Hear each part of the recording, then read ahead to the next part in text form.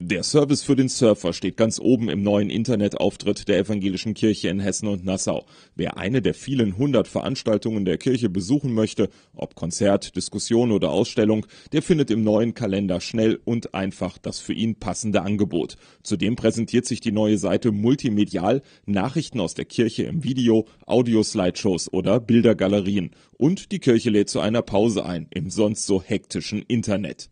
Es gibt einen Pausenknopf. Wer da draufklickt, der sorgt dafür, dass der ganze Inhalt, der aktuelle Inhalt der Website verschwindet. Ein wunderschönes Bild erscheint mit dem christlichen Wochenspruch aus der Bibel. Und wenn man dann wieder so weit ist, kann man den Pausenknopf zurückdrücken und dann kehrt die Welt wieder auf den Bildschirm. Neben dem neuen Internetauftritt erwartet die 1,7 Millionen Mitglieder der evangelischen Kirche in Hessen und Nassau Post von ihrem Kirchenpräsidenten. Der Brief soll die Menschen auf die wichtigen christlichen Feiertage Karfreitag und Ostern einstimmen. Lichtblick Ostern stellt den Zusammenhang von Karfreitag und Ostern dar und führt damit in die Grundfrage, was ist die Hoffnung des christlichen Glaubens angesichts des Todes? Das Motiv der Osteraktion der Kirche kommt nicht nur per Post nach Hause, es ist auch auf Großplakaten in der Region zu sehen, außerdem in Form großer Banner an Kirchentürmen.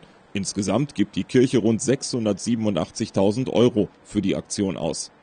Ich finde es schön, weil es ähm, für mich strahlt Hoffnung aus. Das Weiße und auch mit dem Wiedersehen, dass da wieder die Hoffnung kommt. Also ich finde, das passt halt einfach zu Ostern. Ne?